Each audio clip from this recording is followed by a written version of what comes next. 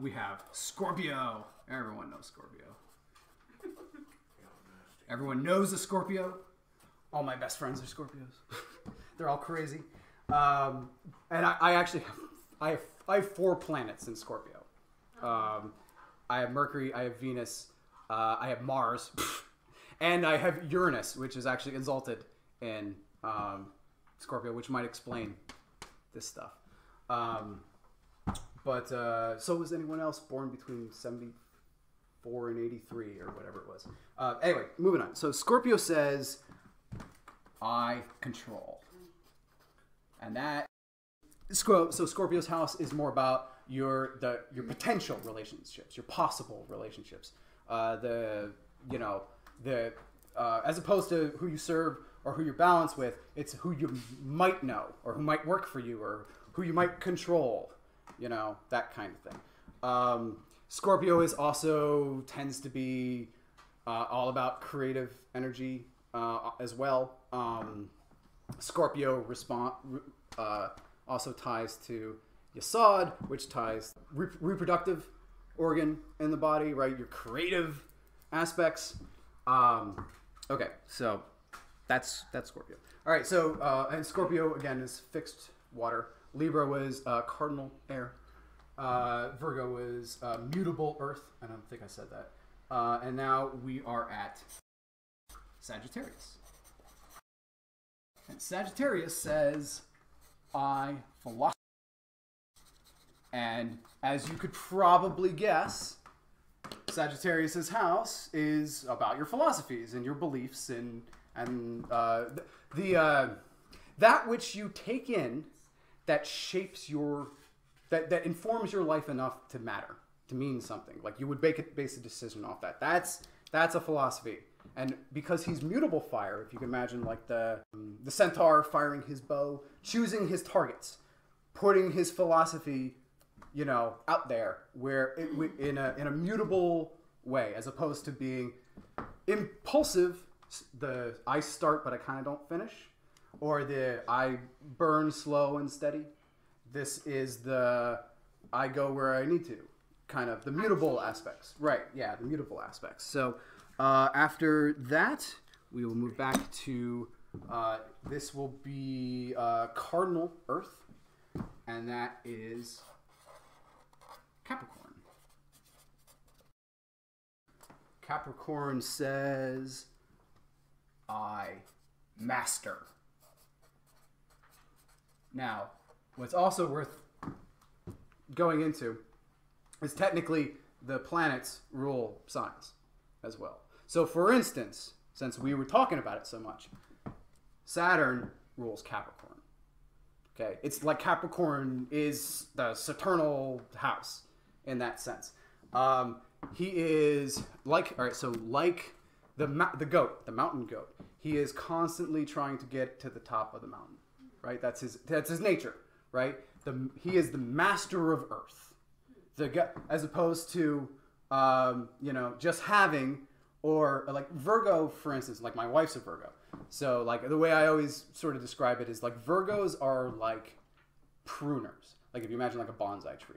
You had a bonsai tree, you'd want a Virgo working on it because they're like meticulous and careful, and every single thing is like deliberate.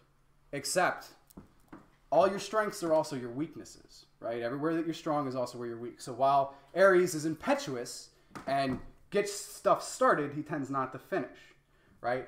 Virgo kind of doesn't know when to stop pruning. That's like her weakness. She doesn't know when to stop being mutable, right? Because that's her nature to be mutable. So, like, you know, if you don't know when to stop, you might ruin it, right? In the same sense, Capricorn is like the master of Earth. This would be your CEO of a major corporation, would be very Capricorn. Uh, presidents and leaders and that kind of stuff are masters of Earth.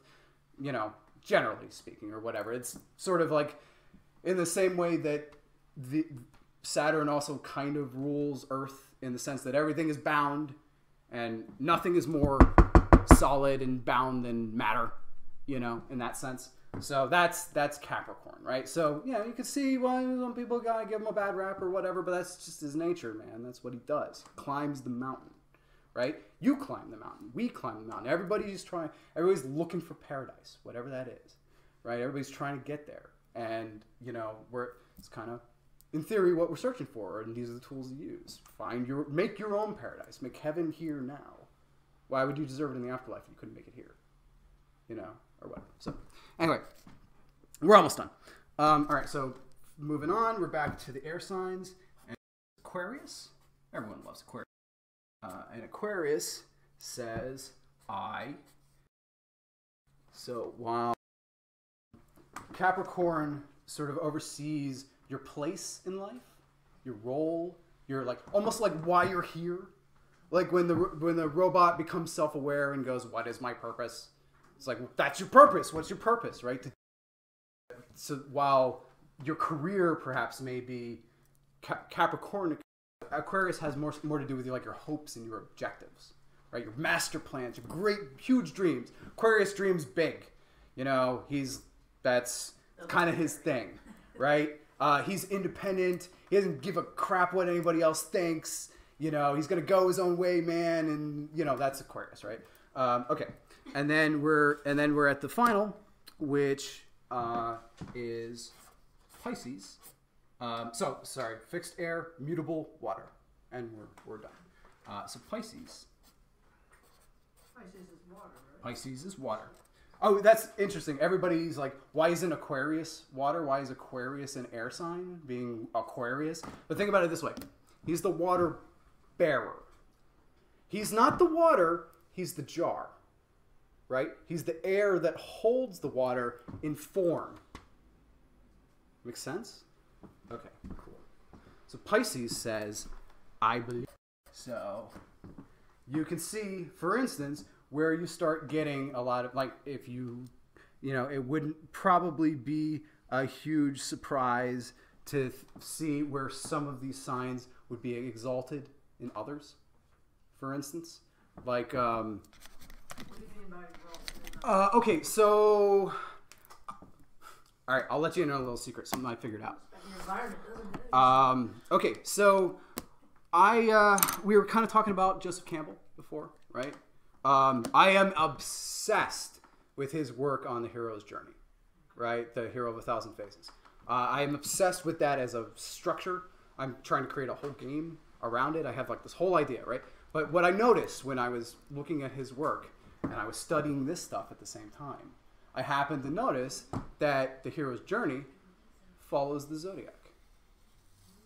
For instance, the call to adventure, hesitate on the threshold, supernatural aid, crossing the first threshold into the realm of the unknown, the zone of magnified power, the road of trials, unity with the goddess for Venus rules uh, Libra, um, confrontation with the father figure, uh, supernatural boon. You got you got the whoosy what's it that you went on the quest for. Hesitating uh, or uh, hesitating on the return, or basking in the realm of uh, worldly delights. Magical flight, and crossing the return threshold changed. It's all right there. So, um, Does he acknowledge that in his book? I, I feel like I figured this out, but I don't know. Figured it out? I don't know. I mean, I've seen I've seen other, well, okay. To be fair, he named like seventeen or like something like uh, thirteen to seventeen phases, so I had to cut some. But so like for instance, one of his big one is the belly of the whale, like Pinocchio or Jonah or whatever, where the hero is consumed by the unknown, and he, to the the normal world, he may as well be dead right? But I'm like, that's implied by crossing the threshold. You don't need the belly of the whale because you already did that when you you moved because cancer moves sideways like the crab, right? It comes at or like the chariot. Cancer rules the chariot card, the chariot coming at things sideways, right? She's not a as opposed to Aries, who's like direct, right? Cancer will come at on the side, right? That's the idea. So, um, So you're saying that Campbell is exalted? because well, okay. Oh, right. That's why I was why I put that. Up. All right. So, for instance, one of the other things that I kind of noticed and got kind of turned on to was the idea that all our great myths and stories and legends are essentially ex- exemplifications of certain planetary and zodiacal combinations. So, for instance, the sun is exalted in Aries, as opposed to like Mars rules Aries, but the sun is exalted in Aries. And that is every action adventure, kick in the door, uh, beat up the bad guys story we've ever heard. Another one is when another exaltation is when Saturn is in Libra. And that represents like marriage, like marriage unto death, right? To like like lo- eternal love, right? And that's your Romeo and Juliet story, right there. Love unto death. There's and there's more. There's way more. But like so for instance, there that also kind of explains a lot of our god forms from myth and legend and stuff. You can for like we're, we're gonna get into that, but like there's like so for instance, you can put like all the Greek gods on the tree of life. You can put the Norse gods on the tree of life. You can put the Egyptian gods on the tree of life. They all have these planetary correspondences. So like just real quick, Thor, Tyr, Balder, Freya, Odin, the Norns. There's the Norse pantheon right there.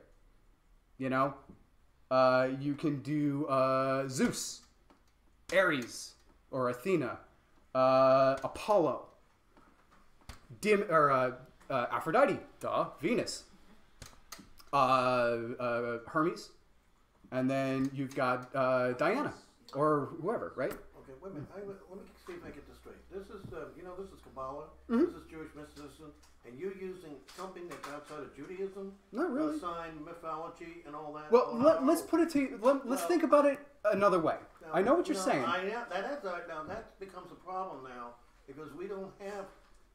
It's okay to put Keter and all that, what you're saying, but now you're signing something that's completely outside of Judaism. You know. Well, first of all, my that's friend, The problem. these planets are in Kabbalah. Well, This stuff is in there. well, So, we have planets, but well, the, these these correspondences, I I didn't make this stuff up.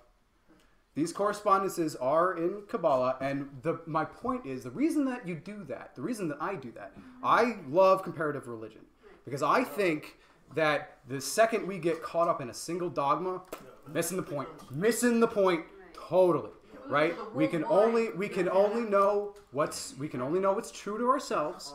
We come together and we try to we try to revolve around different concepts, right? That we, whether it's uh, you know the What he's saying, Mark, is all of this. Wait a minute, hold on. Everything overlaps. There is no, for I mean, I understand your faith, but what he's saying here, all these different mythologies, they do overlap. They intertwine. if, if anything, I think it makes a more uh, uh, powerful, uh, uh, uh, I don't know, accolade for the Kabbalists that they came up with this in the first place, right? Because they, this, all right, I probably should have said this before, but the map is not the territory. This is a sigil that we use. It's a symbol. It's not the map. In the same way that you can pull out a map and you can see roads, but they don't look like the roads you drive down. They're they're approximations of them. It's a symbol, right? Because the symbol, symbols and images, those are the language of the unconscious. While the while the conscious mind uses language. We use language to confer information, to manipulate each other. We talk through form. But the uh, the emotional stuff that's that's on the on the foresight. That's the unconscious. That's symbols and uh, dreams, visions, all that kind of stuff. That so like It, look, Mm. I just want to say that you're not, I have no intention to disrespect. if no no absolutely like here's the, I I have a great deal of respect for like the Torah and the Bible and uh, any any any religious book that was more or less del- received in, in one form or another. And I don't want to get hung up on whether it's the literal word of God or that we have to believe every word that's in there. I think once we start thinking that way, we're only gonna supernally limit ourselves, right? We can you only, want to leave here, you, you know, leave here. it's it's it's means to you. and if it I mean, it's it's to the point where like I there isn't one faith. There there couldn't be. If we had one mandala that would answer all of life's questions, and everybody could look at it and they would see it and know it, and that would be it. We'd be done. We'd be done with this whole experiment, right? Because everything is subjective. And while I like to present this in a sort of, hey, this is sort of universal, it's only universal to me, guys. You know, it works for me. And I've had success, like su- success enough that I feel confident that I can stand behind here and kind of talk about this stuff, right? Uh, so, like, it doesn't diminish. If anything, I think it empowers that stuff because there are always different ways to re- to receive to read received text, right? There, you could read it literally, right? You could like, like let's let's take the Noah's Ark example, right? We could read it as a literal story. There's a dude built a boat, put two of every animal on it. The world flooded. He ended up on a mountain, right? The waters receded. He was spared. The end, right? But we can look at it a different way. We can find a metaphorical story in that. In that, while yes, there may have very well been an actual deluge sometime in our, and that doesn't matter because we can still take the story of Noah's Ark and we can see the story of evolution in it. We can see the story of uh, natural selection or uh, following your divine will or ending up on the top of the mountain. Like there's a metaphorical story in there too. Now, there's even perhaps a more esoteric way to view it beyond that where we could kind of start looking at the tree of life. Remember when I did the story of Genesis? And I'm like, it's here. Do you see how it's here? Right? If I said Father, Son, and Holy Spirit, you'd see that here. Right? Doesn't mean it's true or it doesn't diminish anything else. It's just a system that we can use if we want. Right? Or you can say bullshit. No, Rob, that don't, that don't, that don't work for me. And if it doesn't work for you, then that's true. You can't work with it. I wish you could, but you can't. So like, what am I gonna say, right? You know. So like, sorry. Now I feel like I'm I'm defending a little too much. I, I hope that you and I are on the same page. I really do think that not only not only were they onto something, they got a bunch of stuff really right, really right. And and there is there is a there is a mystery to um, the Hebrew language, the way that the words are depicted. There there's something fourth dimensional going on with it. I can't tell you what it is. I don't know, but I know it's there's something there's more to it than just letters. More to it than just letters. Um, and that's why we'll actually tend to use Hebrew when we're doing our magic work, when we're doing intonations and stuff. But I think that is actually about where I want to end. We'll pick up uh, where we'll we'll pick up below the abyss. How about that? That'll work. We'll pick up here in Jupiter. All right, great. Could I make a suggestion? Yep. Can you take that page home and put it on a handout for us? Uh, sure. I can. Uh, I can probably give you something even better than this. Okay. because I have uh, other notes. Is I could, for instance, I could go through like which which planets rule and are exalted and which signs. That's useful information to have.